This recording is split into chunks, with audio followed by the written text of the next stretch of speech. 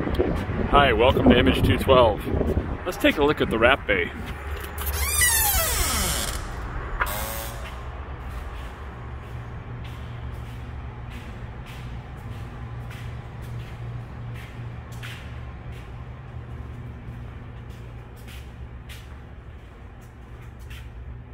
Well, looks like we've got some